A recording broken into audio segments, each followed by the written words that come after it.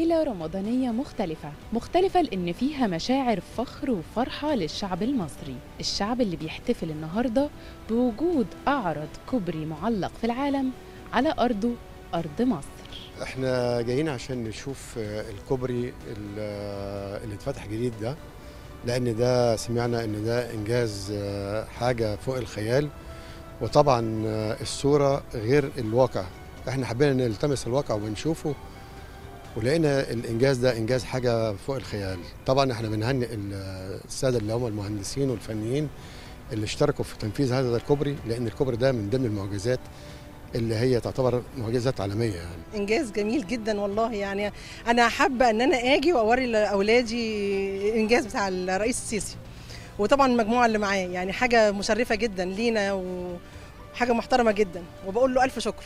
ألف شكر يا رئيسنا يعني. حاجة طبعا فخور بيها جدا يعني إن أنا أشوف حاجة زي كده على أرضي على أرض البلد بتاعتي و- وحاجه أفتخر بيها جدا. لأن أنا برضو يعني تقريبا أنا عايش في الجيل ده طبعا أول في الجيل بتاعهم يعني. فدي حاجة بالنسبة لي مشرفة جدا. بجد يعني وإحنا داخلين على الكوبري أول الكوبري. بجد أنا كنت مبسوطة جدا إن أنا شايفة حاجة زي كده. وفعلا أنا فخورة جدا إن بلدي كده وفخورة إن الرئيس السيسي كده وبتمنى إن أنا أشوفه. وبجد أنا مبسوطة جدا يعني تحيا مصر. أنا حبيت أطلع الكوبري أتفرج عليه اولا. أنا سواق أصلا معايا تاكسي هنا وكان معايا زباين فبيقولوا الكوبري عايزين نتفرج عليه وكده فقلت لهم تعالوا.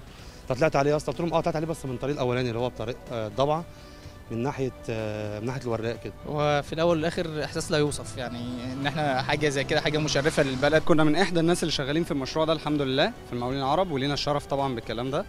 وعملنا كوبري الحمد لله على أعلى مستوى وجايين نتفرج بقى على نتاج شغلنا يعني. كان إحساس بصراحة جميل جدا إن إحنا بنعمل برضه حاجة كبيرة للبلد وإن الموضوع كبير يعني وتع- وكفاية بس إن اتعمل بأيدي مصريين. هقول لحضرتك حاجة أنا من الزقازيق شرقية. أنا قاطع دلوقتي حوالي حاجة و80 كيلو. مخصوص عشان آجي أشوف الكوبري وأشوف الحاجة العظيمة اللي إحنا فيها ديت ونروح نت- نتسحر في الحسين. أنا وأسرتي كاملة. أنا جاي عشان آه، أوري الناس حتى اللي إحنا فيه. إحنا الحمد لله والشكر لله إحنا طالعين لقدام. والله إحنا طالعين لقدام بس الناس تفهم وما تنسقش ورا ال- الإشاعات.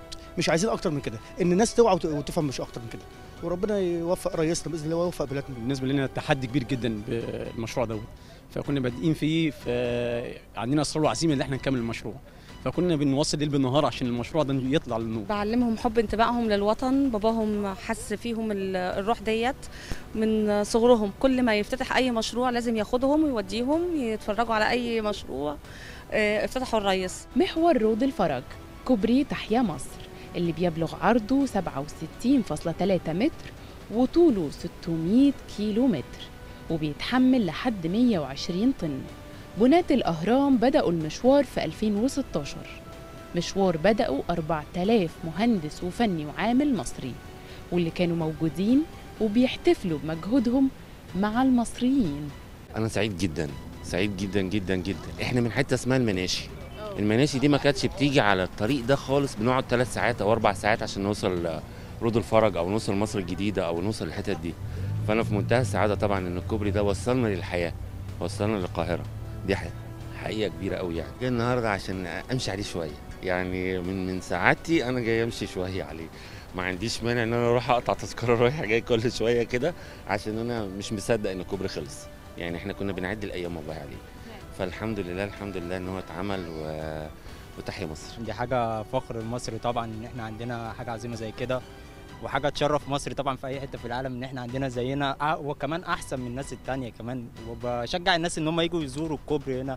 يعني حاجة حلوة خالص يعني. والله أنا يعني إنجاز كبير آه، دخل يعني في الموسوعة وأول مصر وأول مرة مصر تيجي يعني تخش في حاجة زي كده يعني إحساس جميل يعني بصراحة. فرحان. مصر بتتولد من جديد في عهد الرئيس السيسي. دي حقيقة. تحيا مصر تحيا مصر تحيا مصر. الناس عايزة إيه؟ غير إن نبقى تبقى سعيدة. أنا بحيي زعيم الأمة بحيي حامل العرض وحامل الوطن. الرئيس عبد الفتاح السيسي تحيا مصر تحيا مصر تحيا مصر. عايز العالم بحاله يجي يتفرج على الانجاز المعمول. دي حقيقة. الناس هتيجي تتسحر الناس هتيجي تفطر الناس هتعيش. تحيا مصر. إحنا الحقيقة جينا النهارده عشان آه، نتفرج على المشروع ونشوف الإنجاز ده ونحس بيه بنفسنا. وبسطنا جدا فعلا إحنا والولاد. حاسين إحنا خارجين خروجة حلوة يعني. يعني إحنا مبسوطين جدا جدا على في المكان ده ونتمنى إن هو يعني يفضل بال بالروعة والجمال ده والناس تحافظ عليه. وكمان ما ننساش إن إحنا نشكر اولا اللي وجه بإقامة مشروع كبير زي ده. مساء الفل. مساء الخير يا فندم. أهلا وسهلا بحضرتك. أهلا بيك. قول لي إحساسك إيه النهارده وإنت قاعد في عربيتك على أعرض كوبري معلق في العالم؟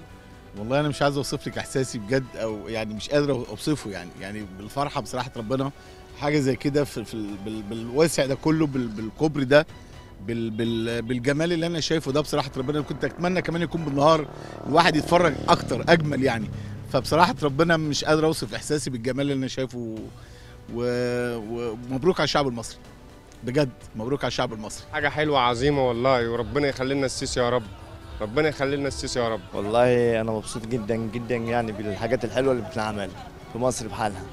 وربنا يكرم السيسي اللي بيعمل الحاجات الحلوة دي. طبعا فخور طبعا بالإنجاز العظيم اللي اتعمل. وده إن ده اللي يدل على إن الإنسان المصري لما بيحب يعمل حاجة هيعملها. وشيء يفوق أي تخيل أو أي توقع على مستوى العالم. إحنا كده دخلنا موسوعة جينز. إن لم يكن من أوسع الأبواب. ياما ناس كتيرة حاولت قبلينا كمصريين ما حاولوش إن هم يعملوا أو يقلدوا. لكن إحنا كمصريين قدرنا نعمل الإنجاز العظيم الجميل الرائع دوت عرس وطني واقتصادي وتاريخي بيحتفل بيه المصريين النهارده هنا من قلب القاهرة.